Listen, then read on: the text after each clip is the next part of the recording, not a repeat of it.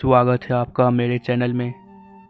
हमारे पास है कोस्टा रिका सीसीटीवी फुटेज इस वीडियो की क्वालिटी और लाइट अच्छी नहीं है, लेकिन इसे देखने के बाद अच्छे अच्छों की रूह काँप जाती है।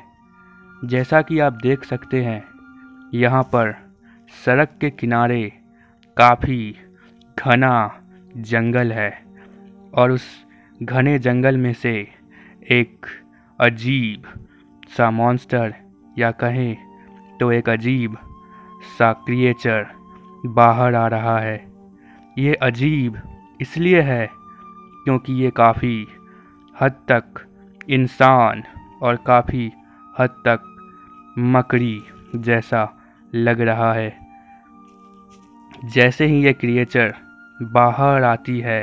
इस पर सड़क छाप कुत्ते भौंकने लगते हैं।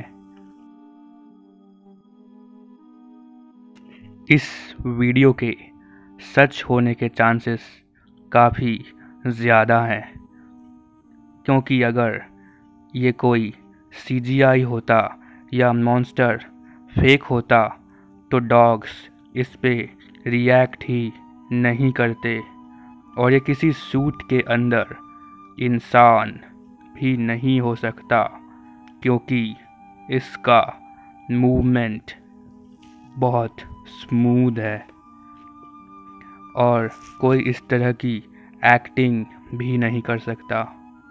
तो क्या ये कोई म्यूटेंट क्रिएचर है? क्या ये कोई एलियन है? अपनी राय मुझे कमेंट्स में ज़रूर लिखें।